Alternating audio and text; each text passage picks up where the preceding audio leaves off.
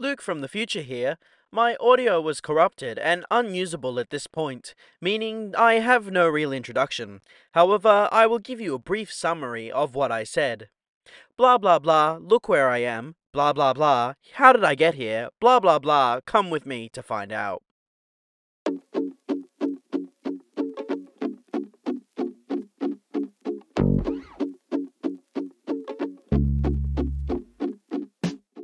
Having just entered the country, and with my onward domestic boarding pass in hand, I made my way swiftly to the domestic terminal.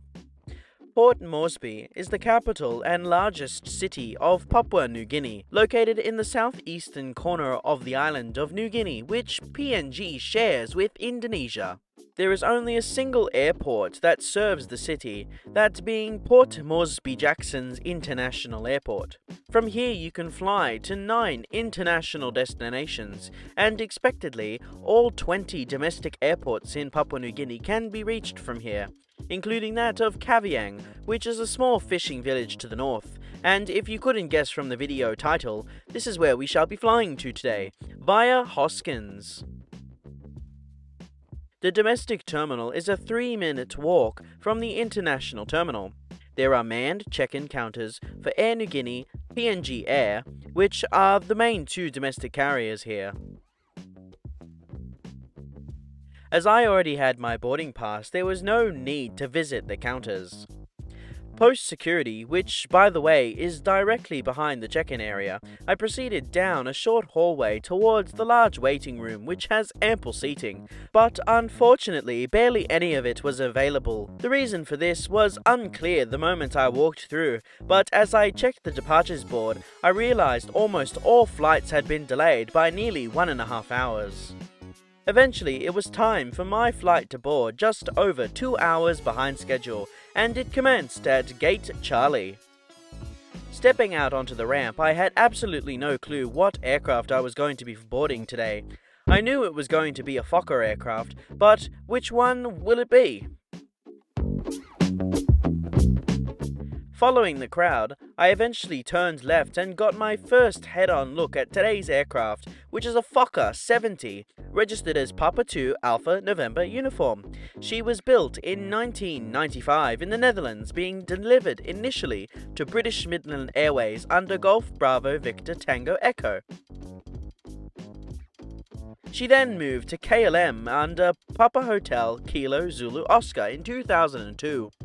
She was then finally given to Air Niugini in 2016, where she currently remains, making this aircraft 29 years old.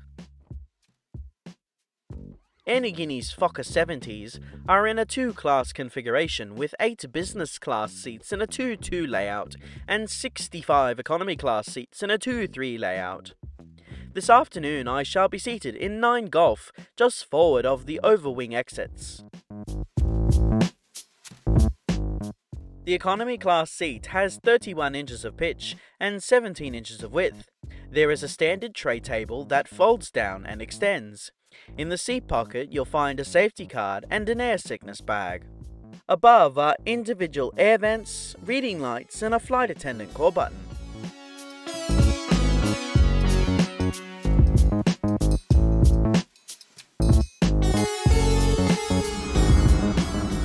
Soon, the engines fired up for our flight north, 2 hours and 7 minutes behind schedule.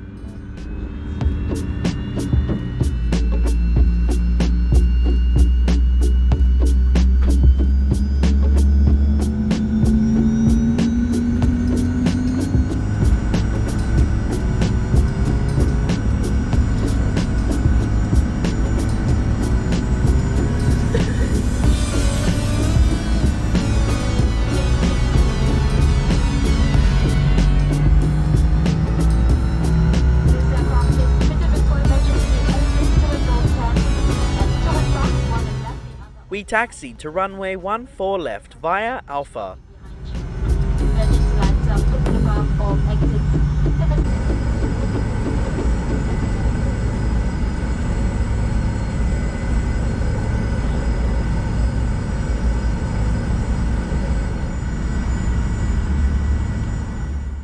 Now please enjoy this unedited takeoff.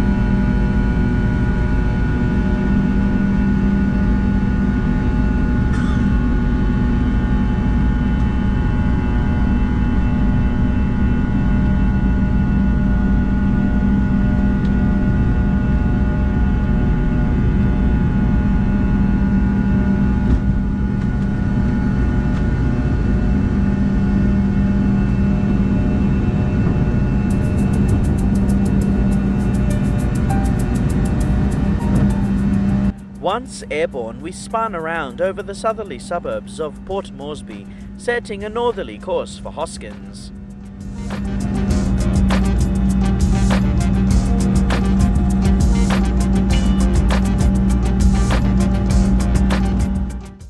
Flight time for the first leg is 1 hour, covering a distance of 543 miles or 874 kilometers, cruising at 27,000 feet. Once airborne, we flew directly past Cape Killerton in the Oro province on the northern side of the island, which will be the only piece of land visible until descent. After which, the crew began the in-flight service, to which I was handed a pack of shortbread biscuits and a cup of orange juice.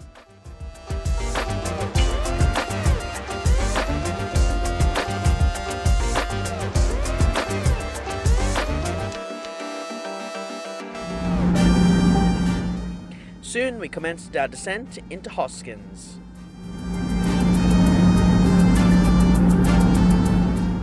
As we passed under the top of the cloud layer and saw the island below, my first thought was that of disappointment as I thought this approach wasn't going to be as breathtaking as I had been told it would be.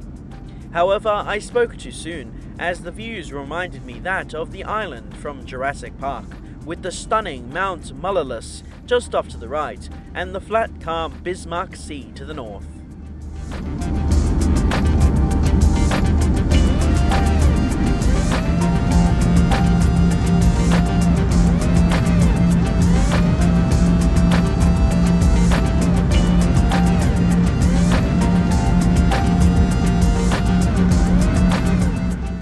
Now please enjoy this unedited landing.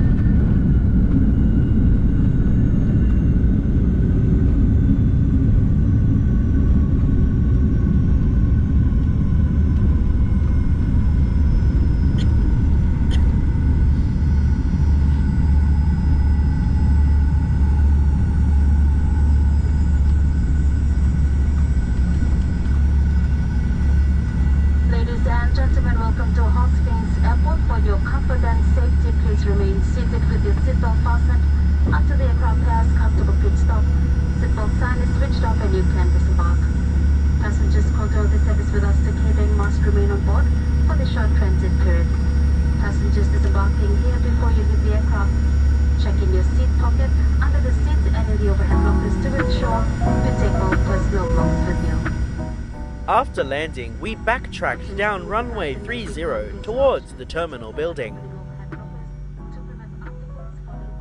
We pulled into gate 1 an hour and 5 minutes behind our scheduled arrival time.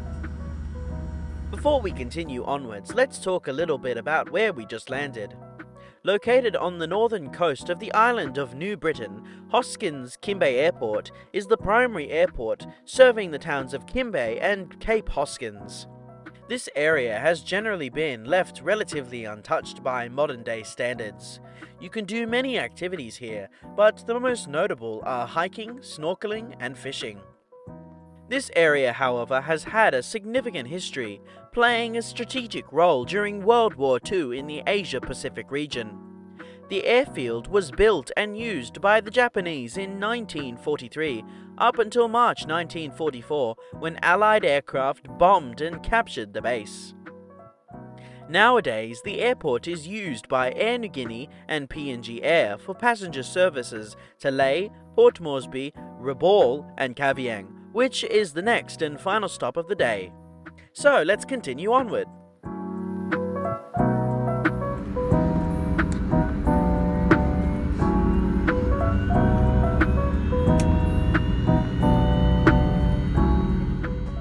Long after our arrival, the two Rolls-Royce Tay 62015 turbofan engines restarted an hour behind our scheduled departure time.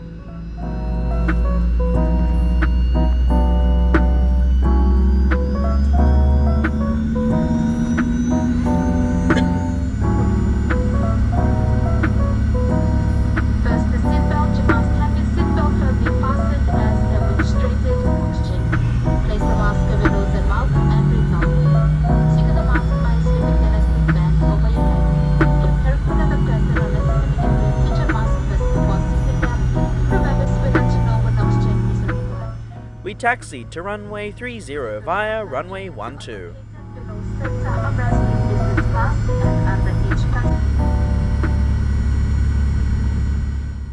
Now please enjoy this unedited takeoff.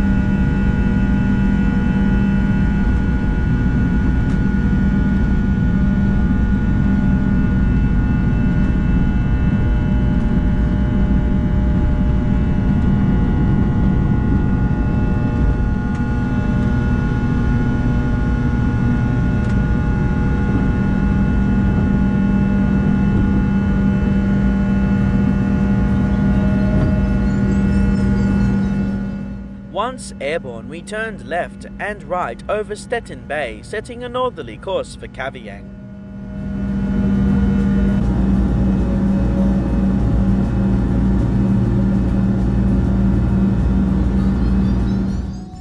Flight time for the second leg is 37 minutes, covering a distance of 208 miles or 336 kilometers, cruising at 23,000 feet. After turning away from the island, we got a good look at the airport we just departed from, and the nearby mountain of Lolo, which sits 6,700 feet above sea level. On board the aircraft are two bathrooms, both located at the rear, which were incredibly loud and have everything you'd typically expect to find in an economy bathroom, including a baby changing station.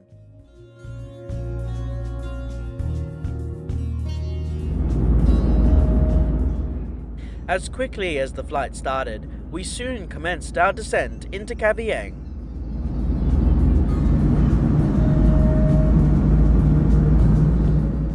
Due to the lateness of the day, barely anything was visible outside, excluding the wing, which was of course illuminated by the landing lights.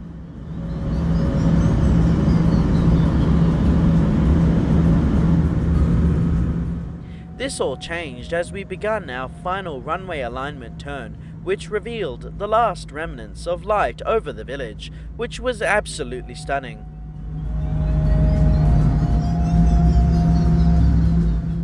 Now please enjoy this unedited landing.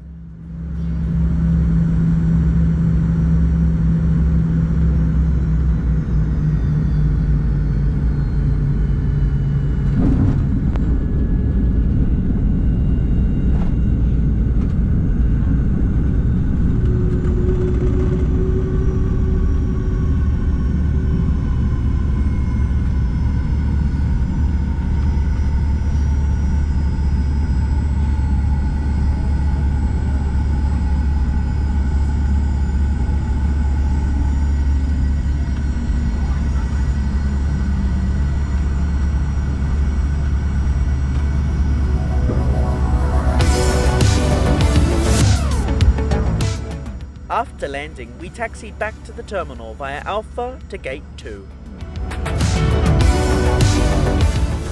We pulled into the gate, 57 minutes behind our scheduled arrival time. As I stepped off the aircraft, blissfully unaware of the absolutely fantastic night that was about to happen in town, I made my way inside the terminal building. Flying on board Air Niugini domestically was an interesting experience to say the least. Their hospitality and friendliness on board was incredible, and the food was, well, it was about what I expected. The same cannot be said for the ground experience, was a complete shit show. Flying to Kavieng via Hoskins gave me a rare opportunity to see a small village and scenery that I genuinely would have never seen had I chosen to fly to a different airport, which was the original plan. However, after doing some research about PNG, it's probably for the best that I avoided the mountain cities like Mount Hagen and stick to smaller villages where I was less likely to be robbed. Thank you so much for watching this video. I hope you enjoyed it. Please like, comment, and subscribe. Make sure to check out the other videos I have on my YouTube channel, and also I now have a Discord server. Feel free to join, link at the top of the description. And don't forget to ring that notification bell if you enjoy my content. And if you want to see more, I post my videos every single Friday at 8pm Sydney time. And I hope to see you again in the next one. See you later!